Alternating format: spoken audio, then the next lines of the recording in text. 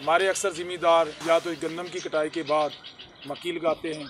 लेकिन ज़्यादातर जो लोग हैं वो ज्वार, चरी सौरगम जिसको कहते हैं, उसका चारा काश्तकार करते हैं। तो मैं इसके लिए कहूँगा कि एक जो अगर ज़्यादातर लोगों का ख्याल होता है कि मीठी अकसाम जो काश की क्योंकि मीठी अकसाम को जानवर शौक से खाते हैं, उसका काद भी अच्छा होता है और ये पैदावार भी अच्छी देती है। आप अगर गंदम के बाद इसको काश करते हैं, दो कट ले सकते हैं, ये मल्टी कट तो नहीं है, लेकिन दो कट्स आराम से इससे ज्वार से आप हासिल कर सकते हैं। रहा पैदावार का तो इसकी तकरीबन पैदावार अगर दो कट्स लेंगे तो कम से कम छः सात सौ मान इन दोनों की पैदावार आएगी।